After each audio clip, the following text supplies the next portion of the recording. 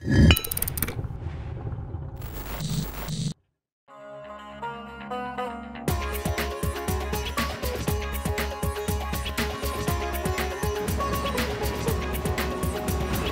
בטח. אם הוא רוצה לשבות, אז זה זכותו. מה אפשר לעשות? זה הגוף שלו, הוא יכול להחליט מה שהוא רוצה. תראה, בגדול כן, אבל תלוי מי הבן אדם. כן, בטח שמותר לו. לא, יש להם זכות, אבל לא בצורה הזו שהם מחפשים את המומנט הזו, שזה יהיה- ישבו שזה חודשיים מזה, ו- וישחררו אותם. אם, אם נתחיל ככה לשחרר אותם, זה כבר יהיה כבר תהליך. אה, יש לאנשים זכות לשבות רעב, ואפשר גם להכיל אותם בכפייה. זה הדעה שלי. זכות לשבות רעב יש, כן, כמובן, כמו כל זכות אחרת. אבל אה, האכלה בכפייה נראה לי משהו בעייתי קצת. כן, זו מדינה דמוקרטית, ולכל אחד אה, יש את הזכות לעשות מה ש... מה שנראה לו לנכון, כאילו. יש להם את הזכות לעשות את השביתת רעב. למה? כי הם עצורים מנהליים, ואין להם, אין להם את, ה- כאילו, את התאריך שהם יודעים מתי הם משתחררים. כן.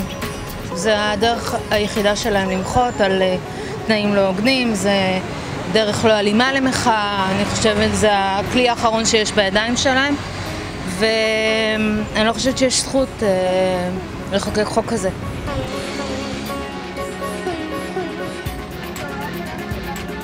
נדמה לי שזה חלק מה... מההתנגדות ל... למצב המדיני. הם מנצלים כל, כל מצב בשביל לנסות להשתחרר, לעשות דעת קהל וכל הדברים האלה. על הפלסטינים מה שעושים להם וזה, לא? הוא שובת רעב, הוא יודע שיעשו הפגנות, ויבואו, ל- יעשו הפגנות בבית חולים, באיפה שהוא גר ובכל המשפחות שלו, ויקבל שחרור, ויצא לפני הזמן. נראה לי שהוא רוצה כאילו להשתחרר לפני הזמן. הם רוצים שישחררו את האסיר הזה, את האסיר אה, ששובת רעב.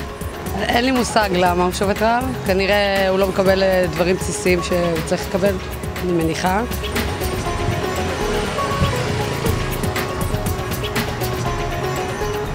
כן, ברור. כי אני מקדשת את החיים יותר, יותר מאשר את המוות. זה לא צורה של לתת לבן אדם לעשות מה שהוא רוצה עם הגוף שלו. לא כל אחד שפוי. לא, בכלל לא. איך רוצים את העם שלך בזה, שאני אבוא להאכיל אותם שיחיו? למה? זה בעיה שלו, לפי דעתי זה בעיה שלו. אני לא אתן לו בכוח אוכל. אז אני לא הייתי מאכיל אותו בכפייה. לא נראה לי מוסרי. בסופו של דבר לא, לא הייתי עושה את זה, זאת אומרת, לאדם עדיין נשארה הזכות לשלוט על גופו. הייתי מאכילה בכפייה, כן. רופא, כאילו זה התפקיד שלו, להחיות אנשים, ואת יודעת. לא. כי הוא צריך לאכול ברגיל, אבל אם הוא נמצא באכילה בכפייה, אז אין להם ברירה אחרת. לא.